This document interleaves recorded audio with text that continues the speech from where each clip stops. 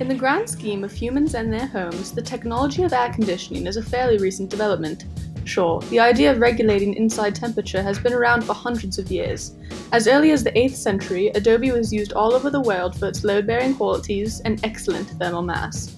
However, until the invention of air conditioning, humans were at the mercy of their exterior environment and their materials of their homes. It was not until Willis Carrier discovered a method to controlling dew point temperature that we came one step closer towards full control. The first air conditioners were used for refrigeration, mine ventilation, and tea and tobacco drying.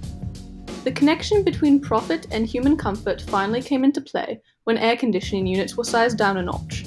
They were still too large for individual homes, but suitable for movie theaters and large office buildings.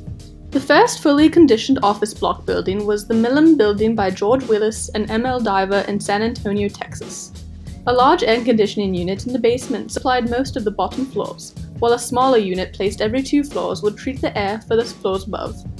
The corridors on each floor served as the ducts for the tempered airflow. In the late 30s, a new AC was prototyped. This unit would be small enough to attach to a single window and draw air from directly outside that window. It was the first unit to start to approach a practical size for the residential scale. In order to understand why we use air conditioning, it is important to first understand how the air conditioner works.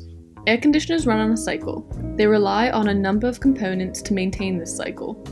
These components include a fan, a condenser, an expansion valve, a blower, an evaporator, a compressor, and a second expansion valve. The lifeblood of the air conditioner is the refrigerant. This series of components brings us one step closer towards a well tempered environment. The fan serves to pull hot air from the condenser to the outside. The condenser, or heat exchanger, is the coil system that deals with the hot refrigerant. The first expansion valve restricts refrigerant flow.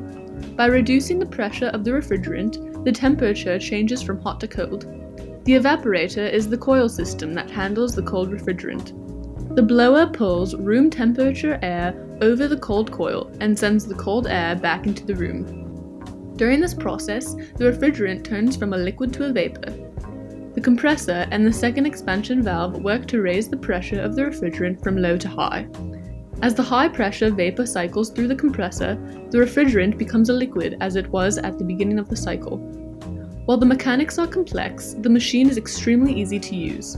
Banham writes For anyone who is prepared to foot the consequent bill for power consumed, it is now possible to live in any type or form of house that one likes to name in any region of the world that takes the fancy. It is for this reason that air conditioning starts to play a role in residential architecture. The addition of this new technology, however, does not immediately bode well with every architect.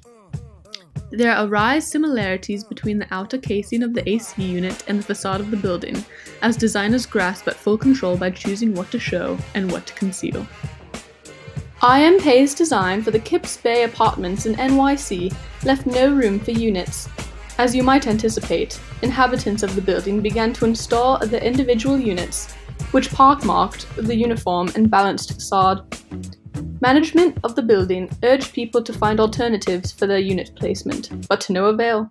While it changed the composition of the building, the change was not for the worse. It gave the building a character of being lived in.